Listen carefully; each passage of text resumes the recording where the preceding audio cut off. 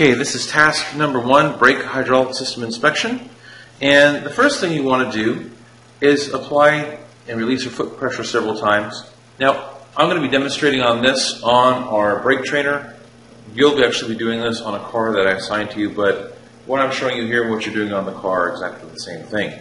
So what we're going to do is apply our foot pressure, is our foot pressure, and make sure there are no squeaks or weird things or it doesn't return too fast. Everything flows and works nicely. Okay. The next thing you want to do is apply heavy foot pressure. We really want to push on this or our brake pedal with our foot, and we need to make sure it feels solid. Okay. I don't want to feel any sponginess or softness. Um, that's going to indicate we have air in our lines. Okay. Now, the next thing we want to do is check the hydraulic leaks we want to hold light foot pressure, okay, with the engine off, power brake. So we're going to go ahead and turn this off. And we're going to check for any leaks on the car. We want to look under the hood, under the master cylinder here, make sure there's no leaks. Look at all the brake lines, okay? Look at our brake hoses over here and inspect them for any leaks that might be uh, present. So you want to go ahead and check that with foot pressure applied. Okay, and you're going to do this with engine running, okay, with the brake booster working, and with it not working, you want to apply pressure to and check it as well. Okay. We also want to check our level. Okay, we need a quarter of an inch of fluid below the top of this, or you want to be below what's called the fill line and or right at I'm sorry, right at the fill line here. Um, that's approximately a quarter inch below the top of this so that's fine. I also want you, part of, as part of this lab, to go ahead and open the cap and look inside and look at the condition of the fluid. You should be able to see through it. It should be a nice golden brown color or the color of honey. If it's brown or black, uh, it needs to be replaced, but I still want you to go check this on your car and make a note under number five as far as the condition of the fluid. Is it clean? Is it dirty? Um, and tell me what color it was. Okay. Number six on here, you need to add fluid if it's necessary, and I don't think you need to add fluid. I just want you to check the level. You want to look for anything that's loose, um, fittings or nuts that are loose. Um, what else do we want to look for on here? That's about all we want to look for as far as leaks and that kind of thing. Now, we also want to check our e-brake.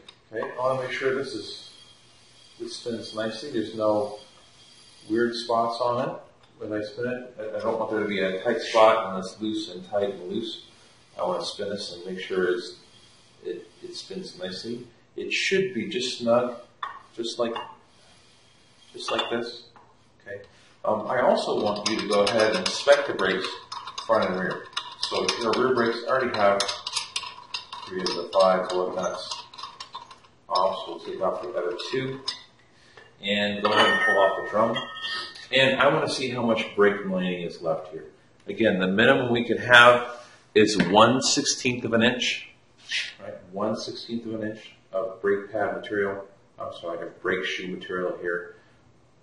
And once we get below that, we have to go ahead and replace these shoes. These shoes are in good condition.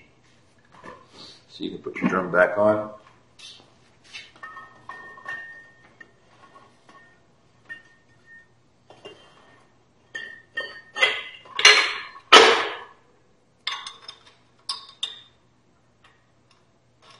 Again, if you're doing this in the car, the wheel goes back on, and you need to look up the wheel torque specs and quote those lug nuts down to the correct specifications for that car.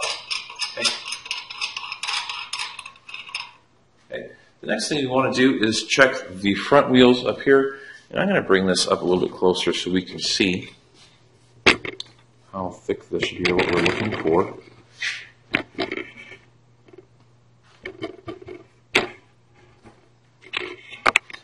We want to look at, I'm going to zoom in a little bit here.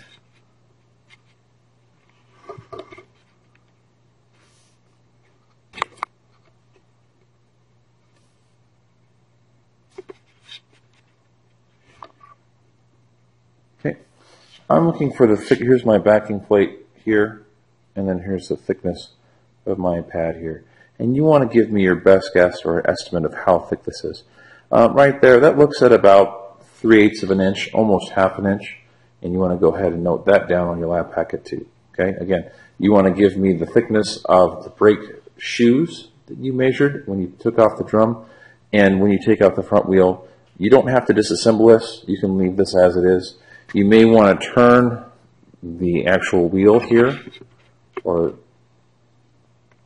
okay this hub here you might want to turn this and pivot it out so you can get a better look at this and that's fine um, but you want to give me an estimate about of about how thick how thick the brake material is here again once we get down to about a quarter of an inch uh, we want to go ahead and replace those pads too and we always replace them as a set we don't replace them just as two here and then leave the other side on the right on. Okay, and anytime these are low, we replace the left side and we replace the right side at the same time.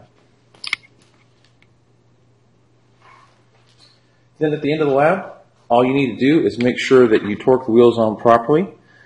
Um, then you have about four questions you need to answer. Um, the different spots you check for leaks, go ahead and list a few of those. Uh, the thickness of the front brakes and the rear brakes, or, or, I'm sorry, the front pads and the rear shoes. Go ahead and give me that information. Um, what type of brake fluid does the vehicle take? And usually you will find that on top of the brake fluid reservoir on the cap. It will tell you how, what, what type it takes. Does it take dot two, dot three, dot four? What type does it take? And then last but not least, any recommendations as far as repairs that you found. You want to go ahead and note that down. Okay. Once you have that done, go ahead and bring your lab packet over to me and we will get you signed off.